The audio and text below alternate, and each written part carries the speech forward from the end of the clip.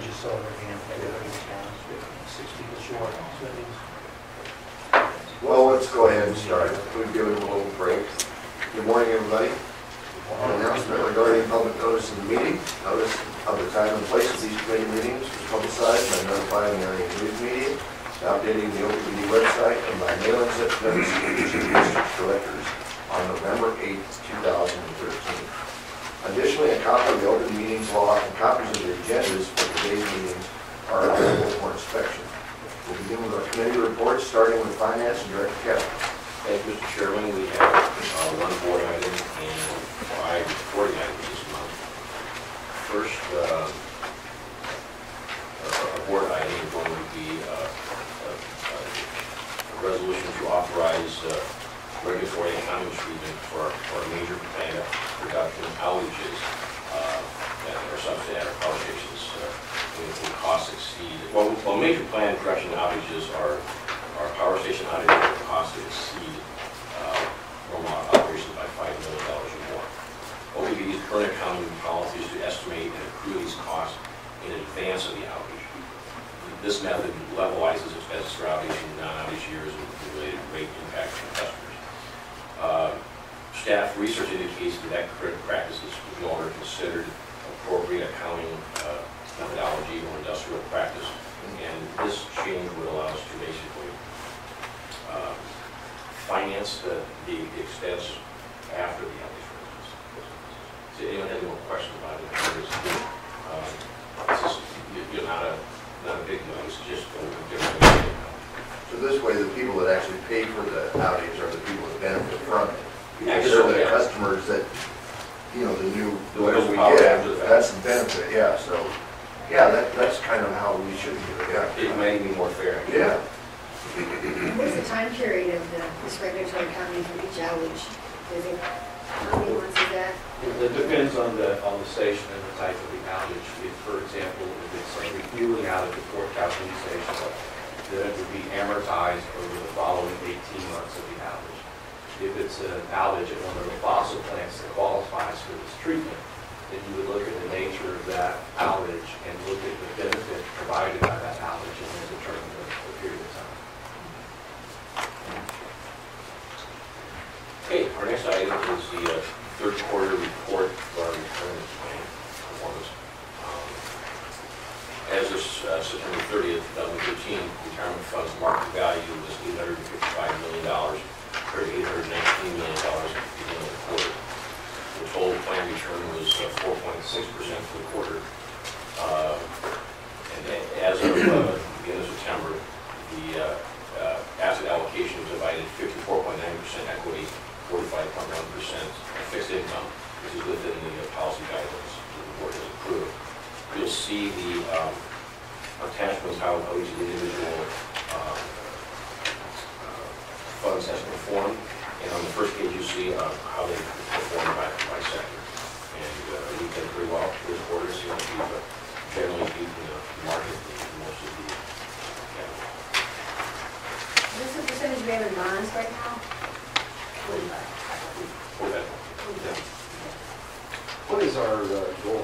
Is it 60, 40, 55, 45? It's about 55, 45, but there's a range around that. Now, it used to be 60, 40, but under the new policy, there's a range. The Reason for that is that if you get into some type of unusual market situation, you wouldn't want to have to sell off and capture losses because of the market, so there's a little bit of flexibility there.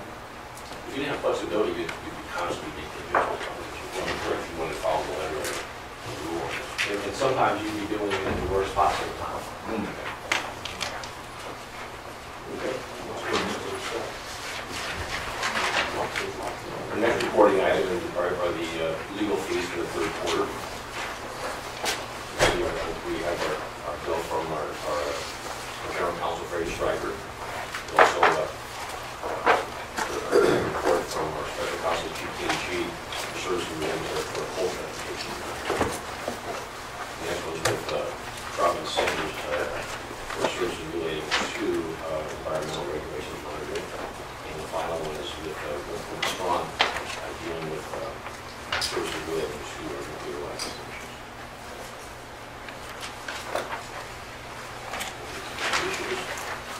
The next uh, item is the, uh, it's an annual report of, of the various uh, organizational membership expenditures we have, the district has. Um, This is attached. Uh, There doesn't appear to be anything new this year. We, why have we decided to keep the USA?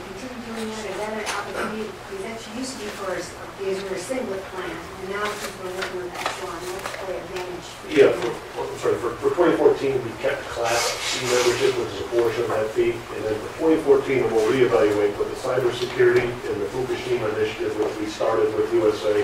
We'll probably stay with Fukushima, um, the the modifications, the spent fuel lab instrumentation that we talked last month. Um, We'll, we'll look to see where the right jump off point is, but uh, I would expect uh, in 2015, we'll neck that down further. We'll probably keep the Class C membership as just a, uh, I'll say it's kind of a bargaining chip for just uh, an additional opportunity uh, for purchasing, um, purchasing opportunities, we we didn't get a pay for itself. We did a nice report from USA that reflects it. It has decreased from 104 spots. Right, it'll continue. Yeah, also, we had a full-time equivalent that was supporting that also from the stage, and that, uh, we're no longer doing that, so there's also a substantial amount of savings from that too. You'll see the attachment to it, uses that, it should be there. Okay,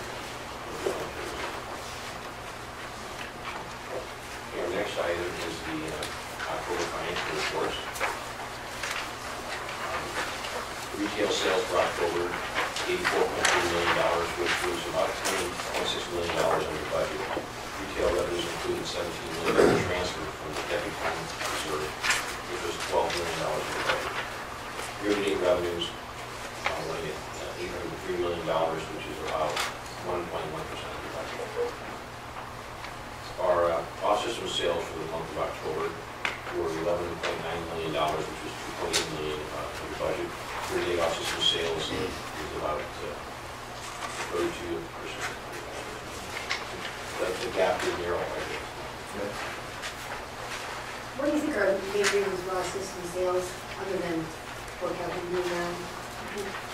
I think you mentioned that to me yesterday, I thought it was interesting to share The- The main source of it, main source. uh, we have some contracts with uh, smaller entities that we, we manage their, their power sales for them. Um, And we have uh, WAPA other organizations that we, we sell to, so that's kind of, excuse me, the basis. There's not a lot of additional energy that's available to sell with, to sell with Calhoun now.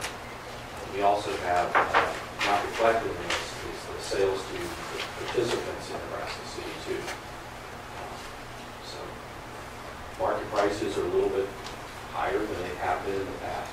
Um, Still relatively low. And, uh, in the, the valley months, if we're not having outages, then other people are having outages and we're able to sell into the market. Under uh, operating expenses, of less fuel and power, uh, the month October were forty-one and a half million dollars, which is about seven point seven million dollars uh, under budget. Year-to-date, non-fuel O&M expenses are right now about thirty-two point three million dollars, or seven point two percent of the budget. The regulatory accounting adjustment for work station recovery costs, three point six million dollars for October, and one hundred twenty-six point four million in total, uh, including the uh, adjustment. The fuel and purchase power for the month of October was twenty-three and a half million dollars, which is almost right on the nose. It's about two point three percent of the budget. Year-to-date fuel and purchase power expenses are running about under budget. Net income for the month of October was fifteen point one million dollars, which was about three and a half million dollars in the budget. Year-to-date net income uh, right now is fifty-nine million dollars, which is about fifteen million dollars. Uh, Net income for the year, net income for 2013 is budgeted to be $52.2 million. The current 2013 net income projection uh, is $52.5 million based on a fourth quarter restarted for development. Uh, Again, we would anticipate additional rate increases in 2014. Capital expenditures for the month was a fifteen million dollars, which is about fifteen point two percent under budget. Year-to-date capital expenditures, uh, about three point two million, uh, under budget, about two point three percent. And the cash balance at the end October, two hundred and seventy-six point four million dollars, which was about thirty-two million dollars under budget. Cash balance does exclude the fourteen point four million dollars restricted Nebraska City to business accounts. Any questions on any of the charges, perhaps?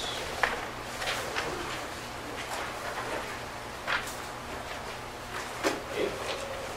Our uh, final item uh, deals with the 2014 corporate operating plan. And we're going to defer that to the Public Information Committee later on. That being said, Pretty good, thank you very much. Now we move on to nuclear and renewable.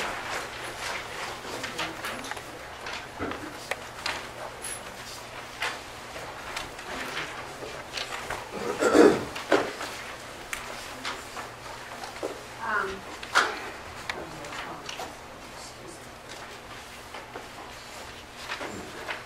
uh, Fort Calhoun, um, is doing really well.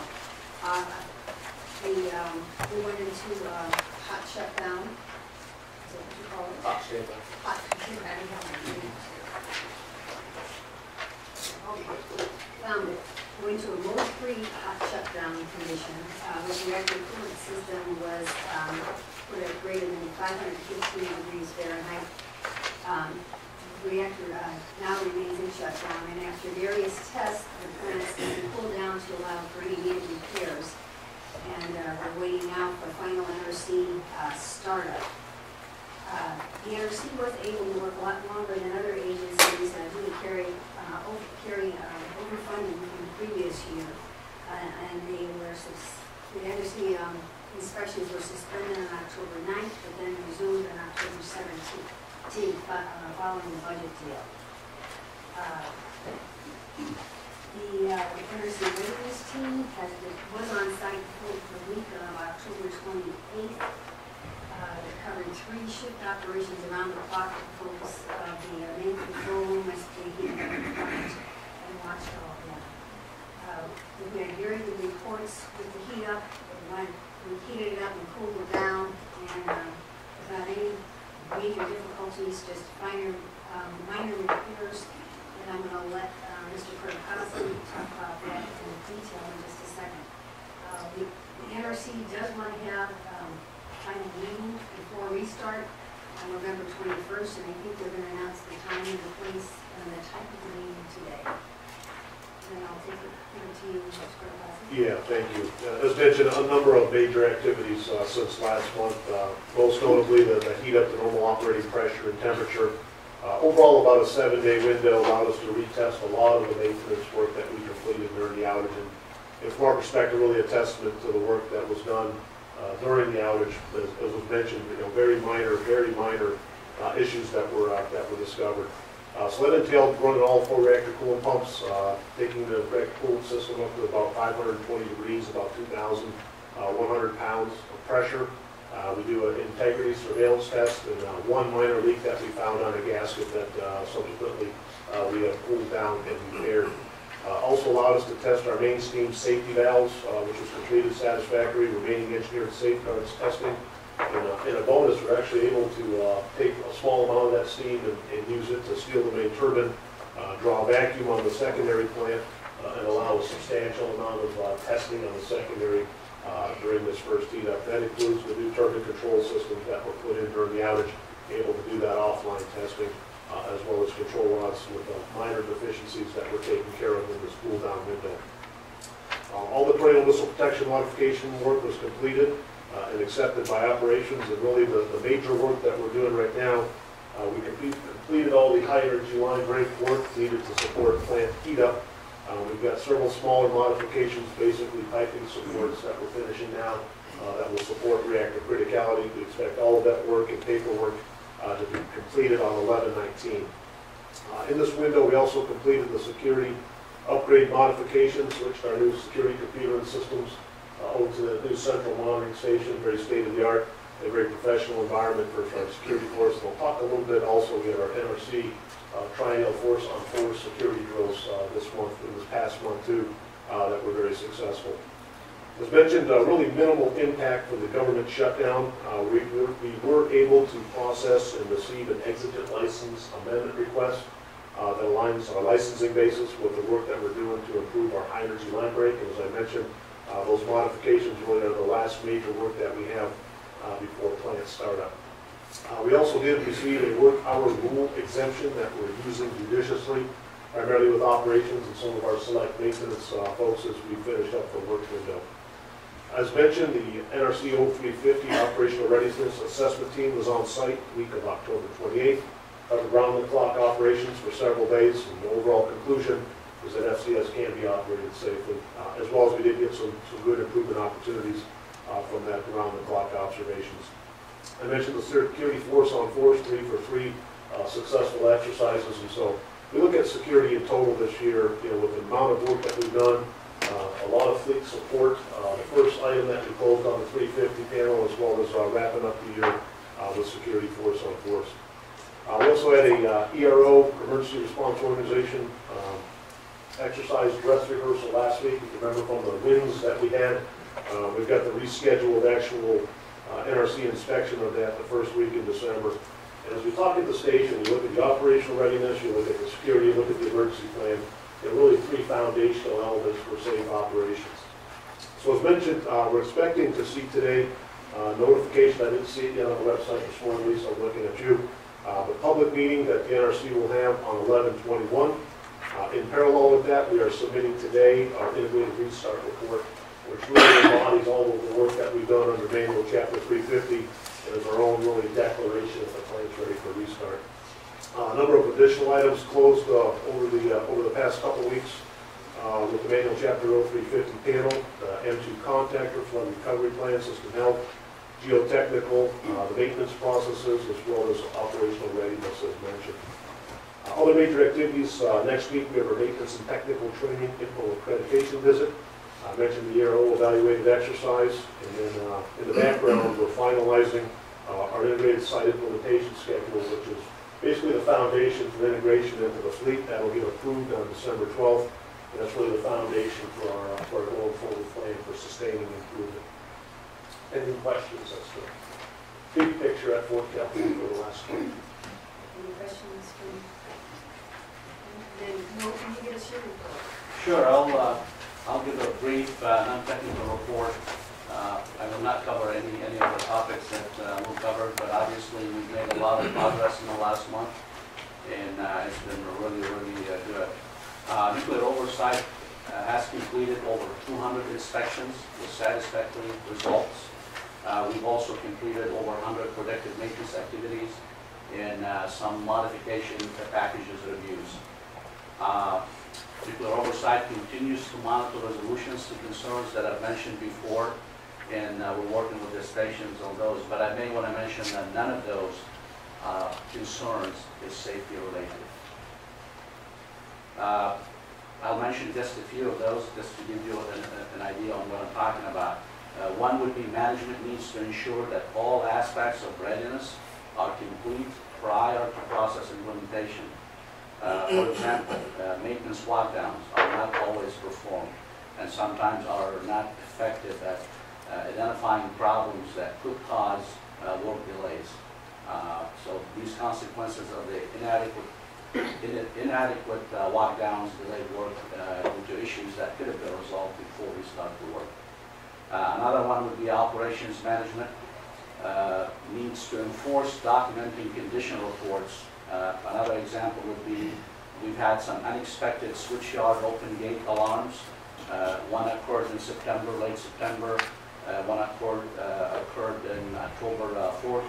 Uh, Those should have generated condition reports and uh, uh, that document exactly what happened and when. Those were not done. Uh, A third and last one I would want to mention, uh, Fort Calhoun has made some improvement, some improvement to the engineering's corrective action uh, program, uh, and I have mentioned that a couple times before.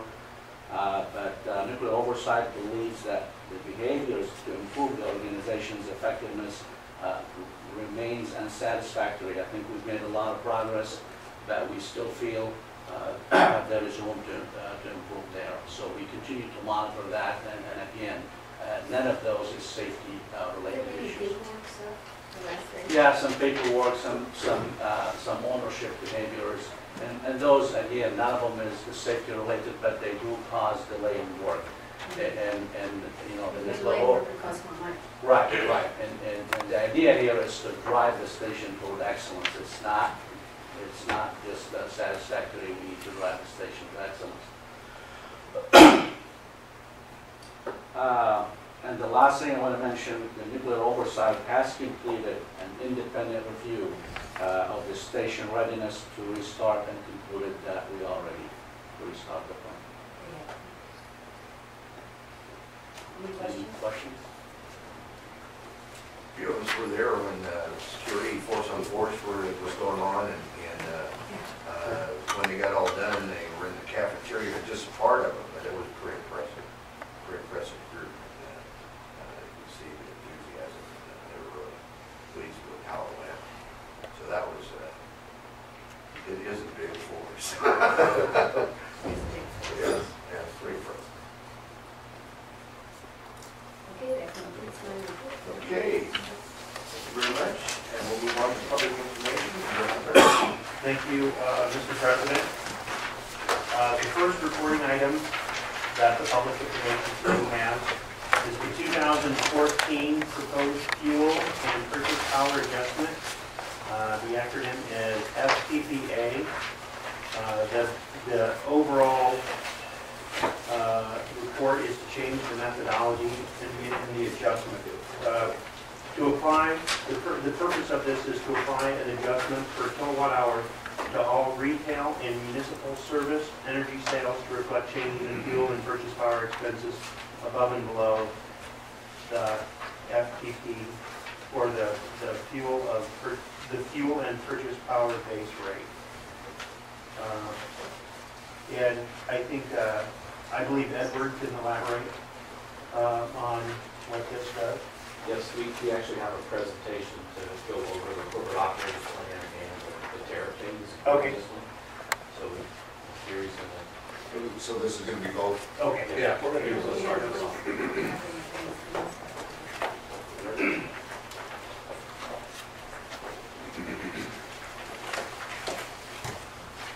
As as was stated by uh, Director Barrett, this is something the mayor will all talk about. today. Um, This will be a combination of the corporate operating plan and the electric service uh, tariff upgrade or CFPA. My part of this, I'm going to cover a a summary of the year uh, that we had in 2013, and then Edward's going to go over the details of the proposed budget in 2014. Uh, A good news story, I will bring that over to you. That- That's the lineup for us.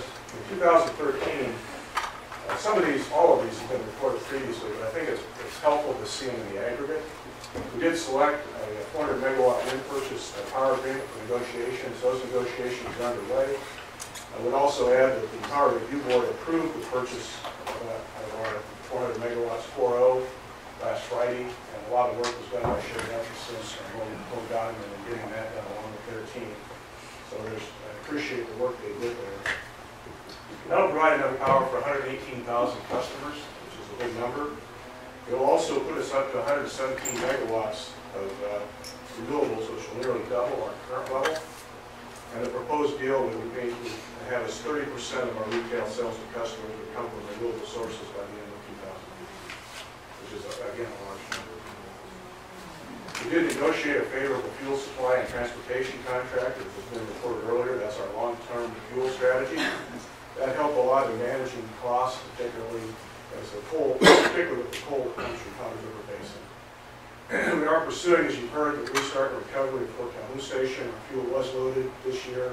We have heated up and we're poised to restart the unit at this time with the closure of the checklists and the public meeting that is upcoming on the 21st. We received the 13th consecutive JD Power and Associates Award. It's a true kudo to the whole organization, particularly in the customer area. That's a customer satisfaction survey, as you'll recall, in the Midwest region and mid-sized segment. That's the 13th year in a row. That's really a tribute to folks at OPPD. We completed collective bargaining agreements, we made great progress with union negotiations, thanks to cooperation with the unions uh, in getting to those negotiations, and we made changes that we think uh, make it better for the position, both for the union and for ourselves. This is something we haven't talked about a lot before, but we did get uh, top-ranked U.S. electric utility brand at eSource. And what that means is that our brand is strong and one which consumers identify with. We believe that's because uh, the voice of our customers is positive, and it's the primary element that we use when we judge this. So that, that was a great honor for the team as well. That was 2013, what's ahead of us in 2014? Improve Cavanagh Station regulatory category, move out of the 350 process into an operating environment, and out of that, uh, out out of those particular set of regulations. Participate in the Southwest Power Pool Day 2 market. We're busy preparing for that, the transition will be in March of next year. We're using parallel operations and deployment testing to start earlier this month in November, so that we can practice uh, being in that Day 2 market. That will be a big change for us, but one we're ready for. Maintain safe and reliable uh, service. Consistent, reliable delivery of our product is key.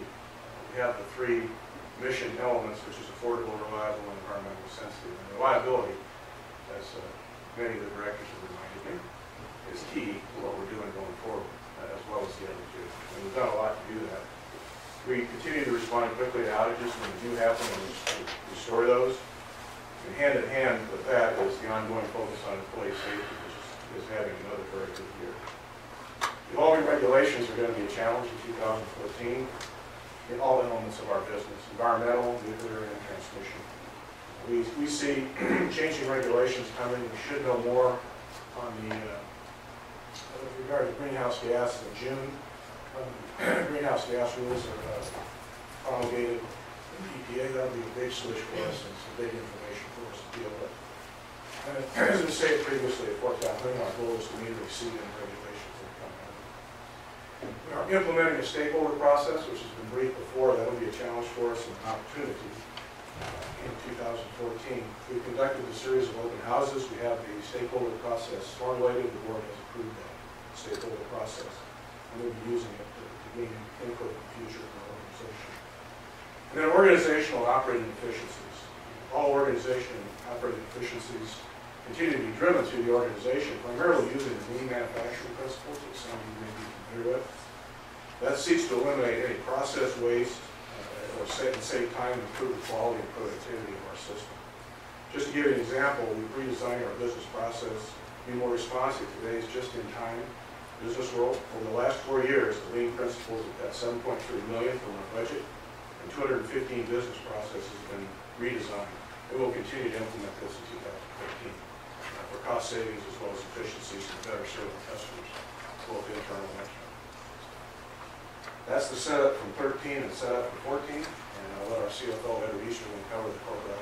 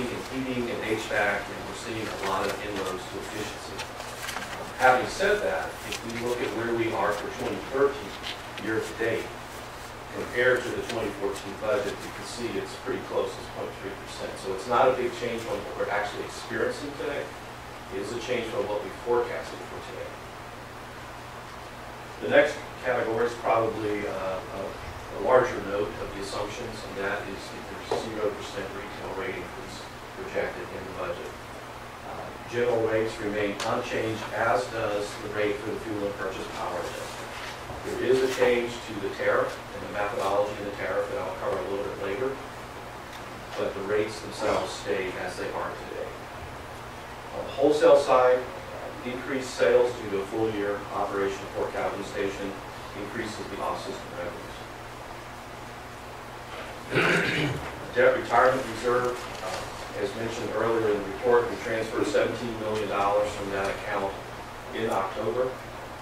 That left us with a zero balance. We're not projected to put any money into that account, and so we're projected to be at zero at the end of 2014. Rate stabilization reserve, we got $32 million in there today. We're projected to stay at 32 million at the end of 14. The on the expenditure side, capital and O and M, uh, we're we're planning expenditures to maintain system reliability and to serve future load growth. Uh, The item that was discussed this morning, the, the action item for Thursday's meeting, the accrual change is also factored into the budget.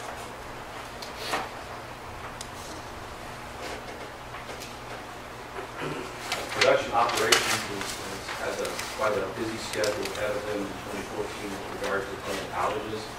You can see that all of our fossil stations have planned outages, and in addition, there are a number of extended outages in our peaking units. This is a result of, number one, the normal maintenance cycle that takes place on our units.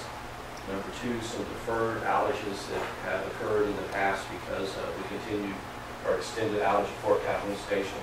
We have to get those things done, we have to maintain the plants to maintain reliability. So you can see it's a, it's a full year outage. Taking all that together, the sales forecast, our current rates, and producing our revenue forecast, we're projecting eight hundred and eighty-four million dollars of retail revenue in two thousand fourteen. You can see the breakout there, out based on the, the stack in the bar, if you will, or the colors are are separated there. In twenty fourteen, the residential, the blue portion of the bar is three hundred seventy-six million.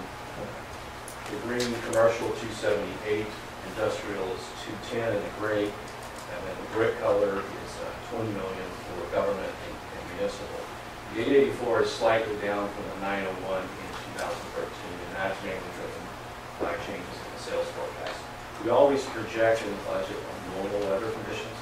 In other words, it's a fifty percent chance it's gonna be colder, a fifty percent chance it's gonna be warmer. And we don't wanna take an extreme because if it doesn't happen, then we're not close to being right on our revenue and sales forecast. On the wholesale revenue side, we see improved uh, sales in the other category, the blue section of the bar at the end, 126 million compared to 48 million and 13. That's a result of having additional generation available for uh, sale into the market. The blue, the green portion of the bar is, is close, 65 versus 72. That's really NC2 participant revenues. In total, wholesale revenue, 191 million in 2014 compared to 120 million in uh, 2013. The last area of revenue is other operating revenue and non-operating income.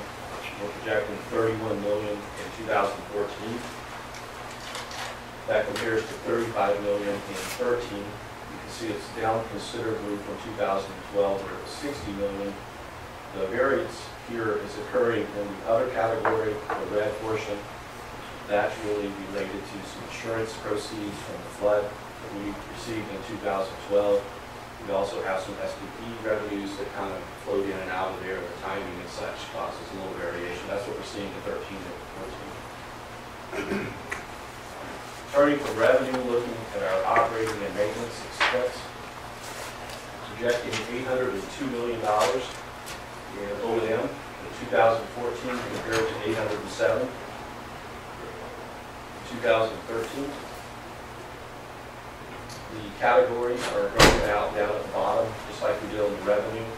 The first area, the blue portion of the bar is fuel, at 195 million. Production uh, basically the the conversion of that fuel into energy is 282 million.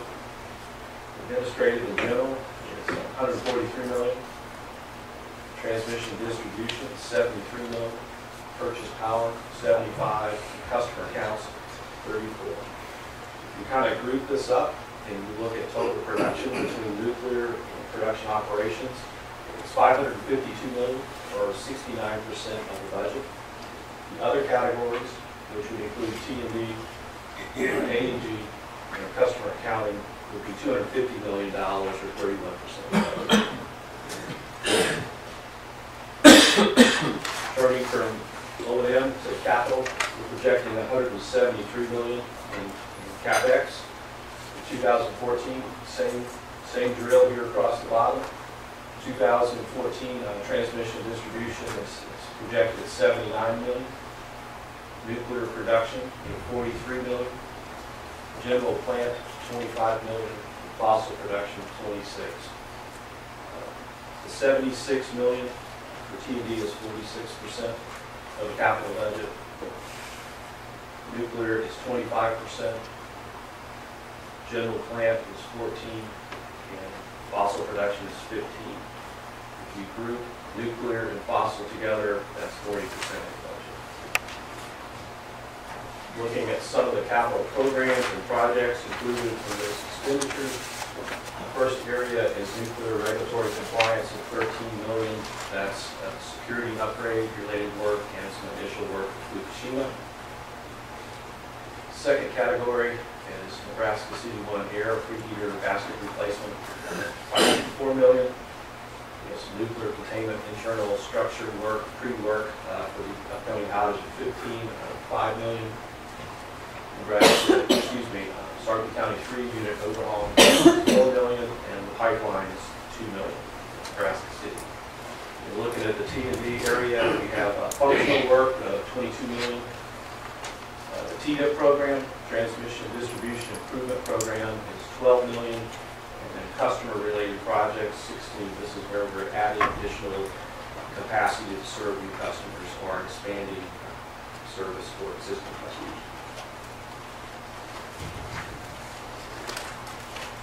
Looking at the capital program, our available uh, working capital and revenues throughout the period, we are not projecting a bond issue for new money purposes in 13 or 14.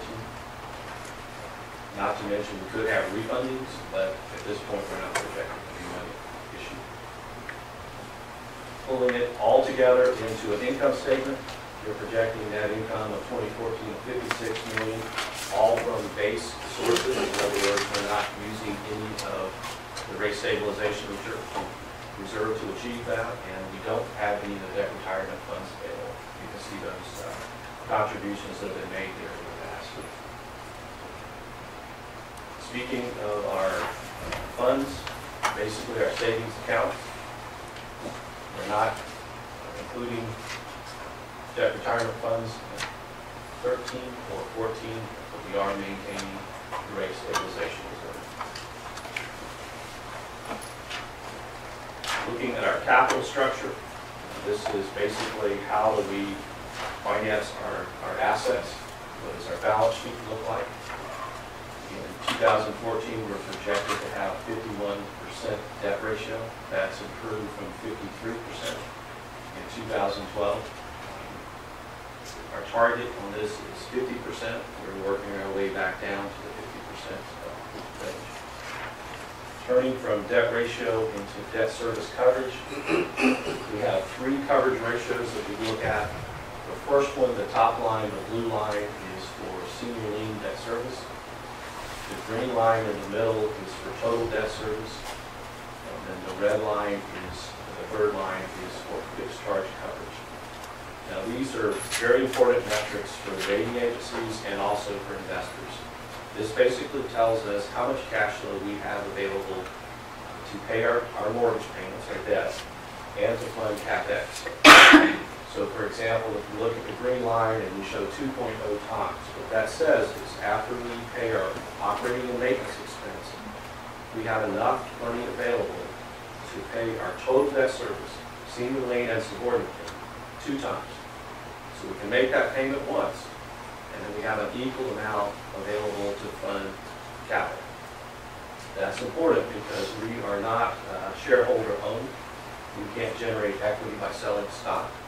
We generate equity by funding capital from our own cash for revenues and repayment of debt.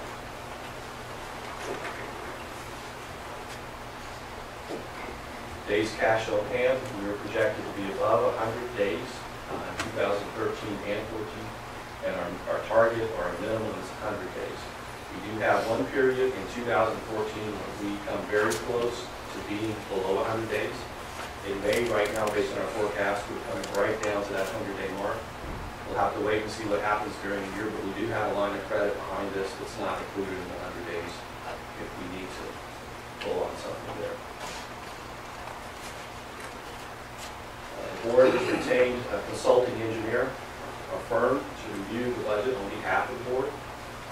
NewGen Strategies and Solutions has uh, been in the the building, conducted meetings, interviews, and walked through the various components of the budget. They will be providing a report to the board prior to the December meeting to basically state their, their understanding and whether they recommend approval of the budget. Just a note that New Gen is uh, a new firm. The, the, the people working at New Gen used to work with SAIC. They have kind of moved off in, in a new direction.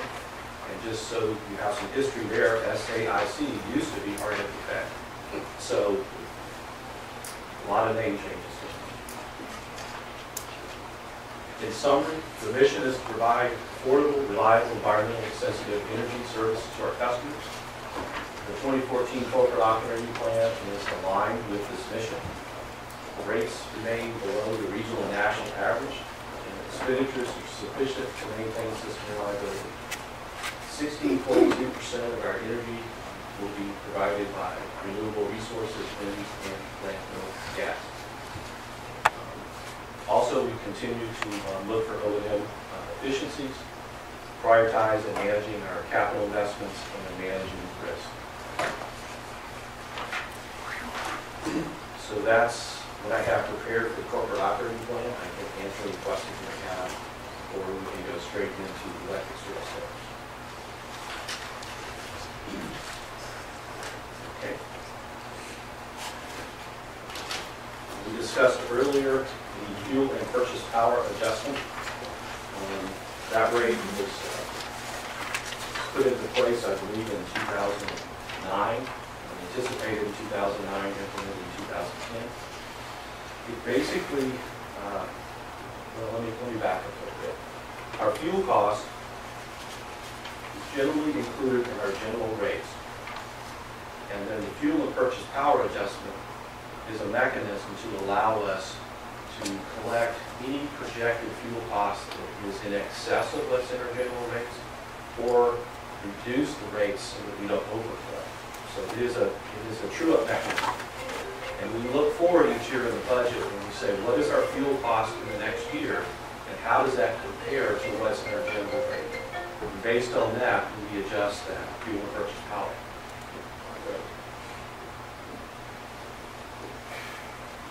The one change we'd like to make in um, 2014 is a change in the tariff. And the change is really around including consumables in the calculation of the FPPA. Now, consumables are chemicals and materials that's used directly in production of electricity. So An example would be lime down at Nebraska City on some of the environmental equipment. Uh, Chemicals used for water treatment.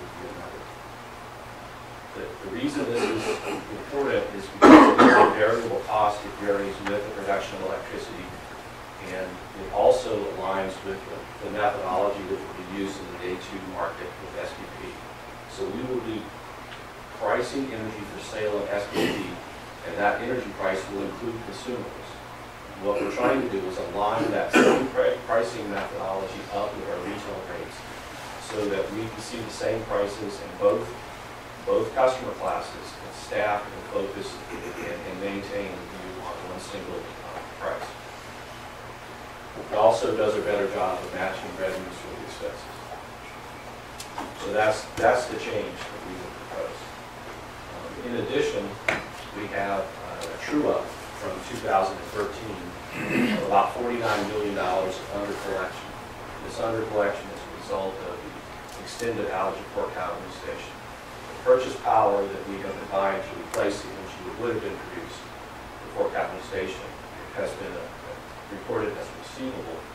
And that calculation, this calculation, FPPA pulls that under collection in. We're proposing to spread that over three years. And this would provide that we would collect 23 million of that 49 million dollars in 2014.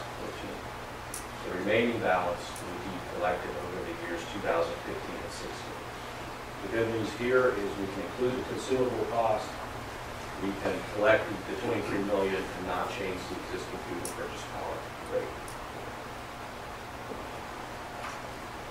Just a high-level summary, I mentioned earlier, the fuel is included in general rates, you can see that there, 180.8 million. We include 23 million in, and the rate for FPPA is 0.00215, which is uh, no change from the current rate. Um, Other changes, we have some tariff uh, revisions and changes we'd like to also propose. We look at consumer service charges. We have a service drop, duct, and per lot charge. That's kind of what we said. I'm not sure what I really want to say, but I have to really focus on it. Yeah, it's, it's a little focus here. Today, when, when new subdivisions go in and we, we connect service, the developer, the builder pays for the difference of putting in underground service versus overhead. And that's about an eight hundred eighty dollar per lot charge. This would add to that with, with a fee associated with putting in a duct. A duct is basically a conduit that is in the ground that allows the electrical cable to provide power to the home. And the benefit of this is in the future, if the cable fails and it has to be replaced, you can just pull a new cable through that duct and not have to go and disturb the landscape, I guess, customer property. It adds, I believe, an additional three hundred dollars, it's about eleven hundred eighty dollars. And this is for new, new uh, projects going into the future. The next item are reconnect charges, so when customers are disconnected for non-payment or other reasons, and then they want to be reconnected, there's a charge to go back out there. Today, we have a two-tiered structure. If the work occurs during working hours, normal working hours is fifty-five dollars. If it's after hours, it's hundred and twenty dollars.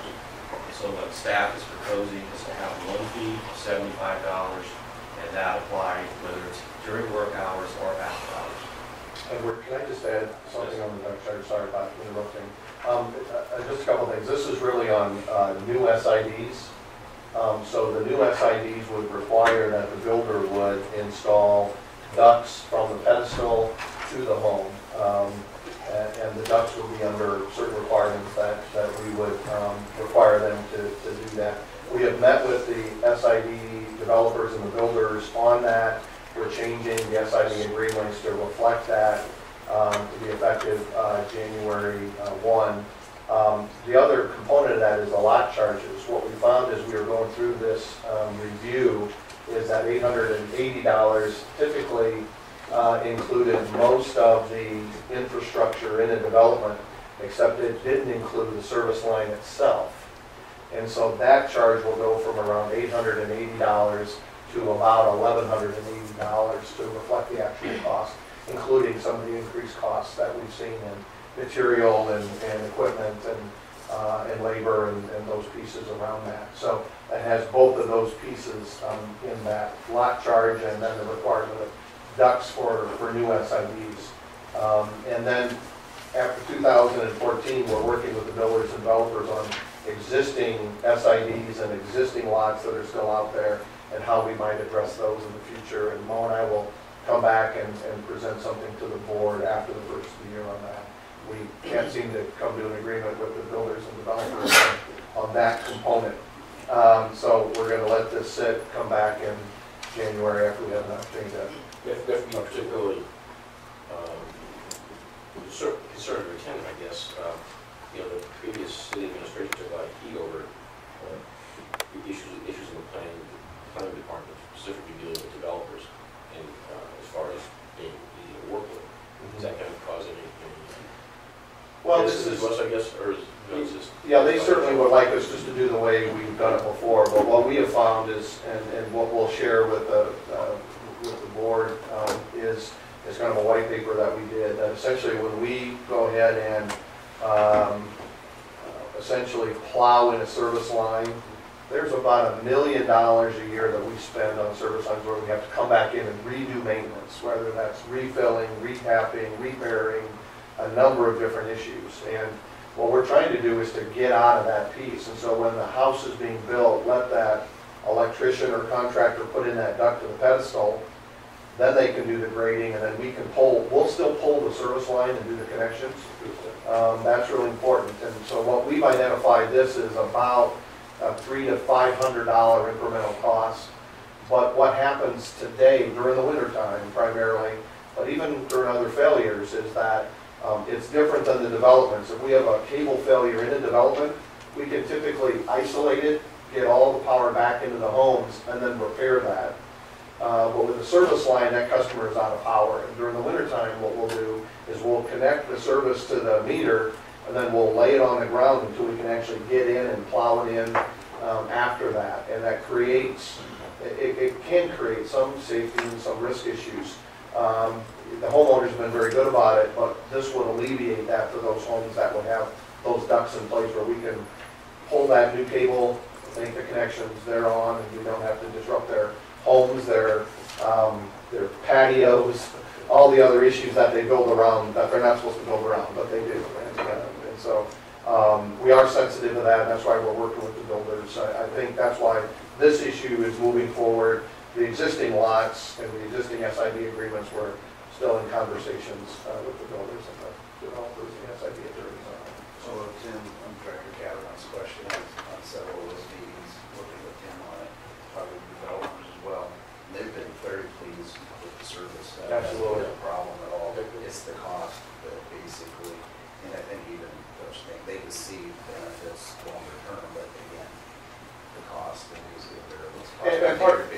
And part of their concern was, we have contracts that are in place, we don't want to have to go back to the homeowner and increase it by five hundred, we understand that. That's why we're kind of delaying this until we can put together a, a strategy that we think they can live with and we can live with and, and work through that, so. What was the, the, the uh, business hour and after hours cost adjustments? Was that, was that on reconnect charges? Was that? Yes. Okay. Would that be a net gain of anything or would that be a wash? I think this is on a watch. And I, I think it eliminates a lot of confusion about when the work is started. So did you start it during hours it after hours? Or uh, when they make the call or whatever. Okay. I, I think it's kind of hard to administer during hours and after hours. The, the next item is, is very similar to that. It's a simplified customer deposit policy. Today, we, we look at the projected usage of a customer, and we ask them to put down two months of the energy usage as a, as a security deposit. Um, that, the recommendation there is to change that, ask each customer to put down two hundred dollars. That's an administrative matter. It's consistent with what we see on utilities, given DEP does that, and so does uh, SRP in Arizona. So That's a recommendation. The, the next one is uh, curtailment rates. Uh, in our policy would be revised to indicate that uh, capacity curtailments may occur when you don't have adequate operating.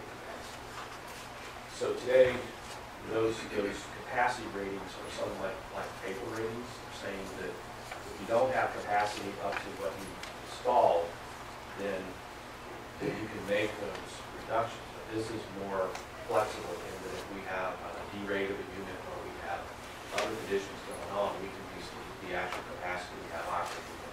Gives us more flexibility in responding to unexpected operating situations. And this really, really relates to larger customers who own container rates, not programs like the air conditioning program.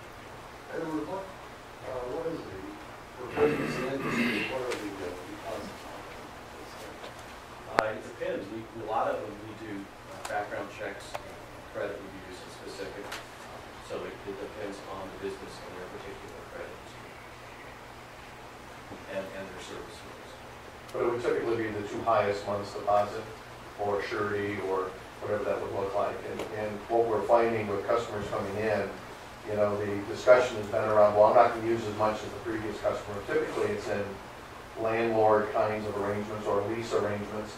Typically, if they're buying a home, we do not require a deposit for a new homeowner that's buying a home, uh, because that credit risk has been done only until they receive a disconnect notice or they've been disconnected and we require a deposit. For those customers, typically, this is a kind of a landlord setting, which is typically our highest write-off um, for residential customers. Uh, And, and kind of the discussion we always get in from the call center reps is, "Oh, I'm not going to use as much as the previous customer. Or, and so rather than doing that, it's just going to the flat rate, so we don't have to discuss whether or not they're going to use as much as the previous customer.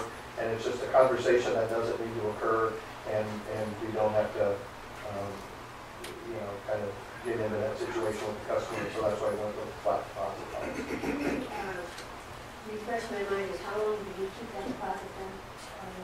Yeah, so for residential customers, I believe we keep it for two years. If they pay by the due date for two straight years, we refund that deposit with interest.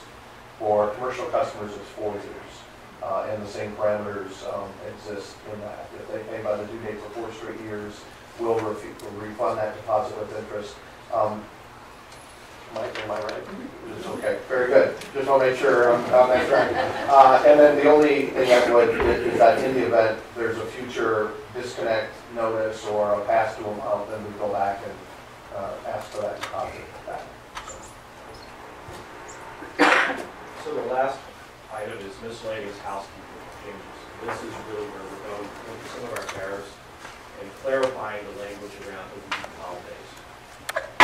Also clarifying language around uh, which rates schedules qualify for the level pay from the budget. So this is just housekeeping, with some additional language. It doesn't change the tariff, it doesn't change the policy. This makes it easier for staff and customers to utilize what intended in the first place. Um, Going forward, we're here today. um, We've notified local media through our traditional practices about the budget and the rate projections. We would plan to make this presentation on Thursday during the the board meeting, and then come back in December and request approval of the corporate operating plan and the change to the FPPA tariff and miscellaneous schedule changes. Any other questions? Thank you very much.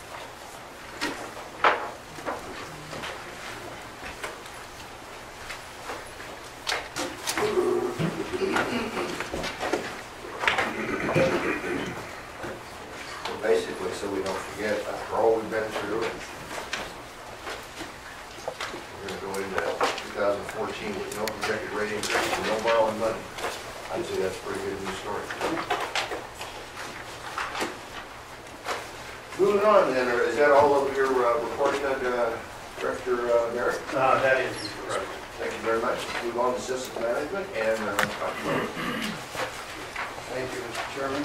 Um, We have one item for the board, and that is the replacement of uh, the uh, air preheater basket at Nebraska City Station Unit 1.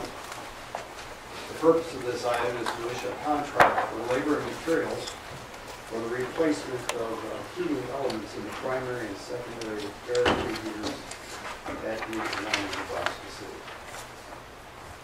Uh, This unit one has been approaching a a load restriction due to increased pressure drop in the flue gas systems, which is due to, it says following, but I think clogging might be a better word, clogging of the air preheater heating elements. Uh, The visual inspection has shown that the secondary air preheater heating elements are in poor condition. These were last, this was last replaced in 2007, and we now have reduced heat transfer efficiency. Uh, The replacement of the heating elements would take place during the planned outage in May 2014, and it would then prevent the load restrictions that we're experiencing now. Uh, the bids, three bids were received. One bid was returned to be legally non-responsive. The engineer's estimate for this project is seven point two seven million two hundred thousand dollars. You'll note that we're asking for authorization by the board to award a contract in the amount of three million five hundred eighty-one thousand three hundred forty-four dollars to Irwin Industries Incorporated. That's quite a bit under the engineer's estimate, which is rather unusual. We don't really know what that's about, except we think it may deal with the scope of the, the difference in scope as the engineer looked at it, he looked at it. And perhaps also to, due to a competitive labor cost. Anyway, um, the contract, as I said, $3,581,344 to uh, Irwin Industries Incorporated, and you will note that that was in the uh, 2014 uh, operating. That's it. Questions?